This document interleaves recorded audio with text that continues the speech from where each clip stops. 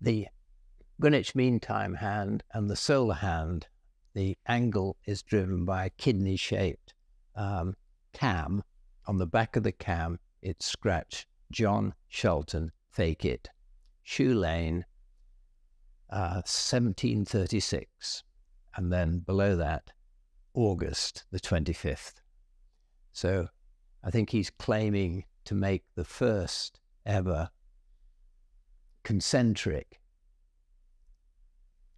solar hand and Greenwich Mean Time hand on the same dial. It's never been done before. And so there he is claiming it for his own invention.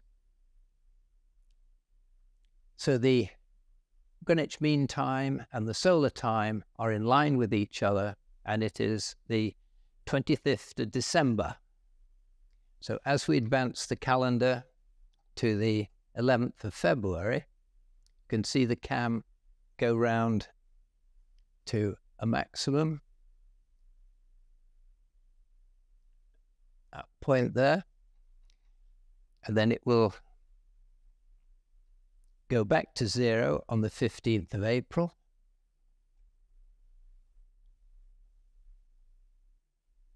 That's there. And then it will increase the other way to the 14th of May.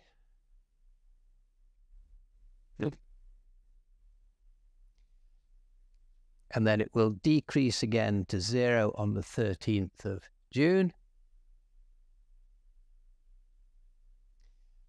And then it will reach its maximum uh, on the other direction on the 3rd of November. So it's 16 and a half minutes out.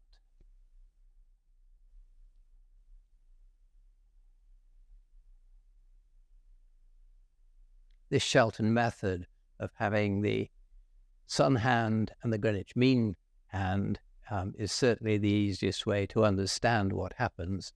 But nowadays, we're so immune to the effects of the sun and the moon, uh, we just think that all time must be Greenwich Mean Time. And very, very few people have even, even heard of sundial time, let, let alone have to make allowances for it whenever they set their clocks. And of course, most people don't even have clocks these days because it's all automatic Greenwich Mean Time on their phones.